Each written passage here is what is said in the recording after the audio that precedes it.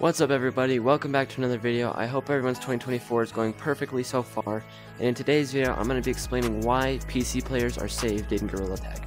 So recently Gorilla Tag had a problem where if you had Utilla installed on PC VR, you would get immediately banned for like 8 weeks I think. I have no idea why this was happening, I'm assuming it had to do something with modding. I've seen like 19,000 Gorilla Tag content creators post about how it's breaking the game and how PC players are just done. So I was curious and looked up if it's fixed, and according to some random guy in Gorilla Tag's Discord server, it's fixed and it's not happening anymore.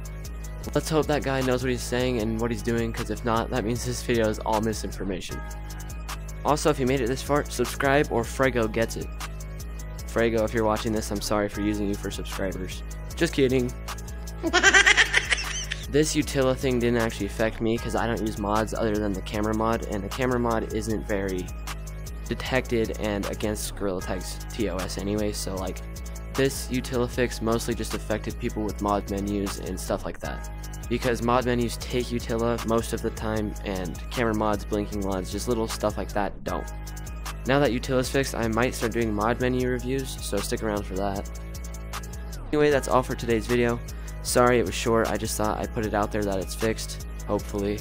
If you guys enjoyed this video, like, subscribe, and I'll see you guys in the next one. Bye bye!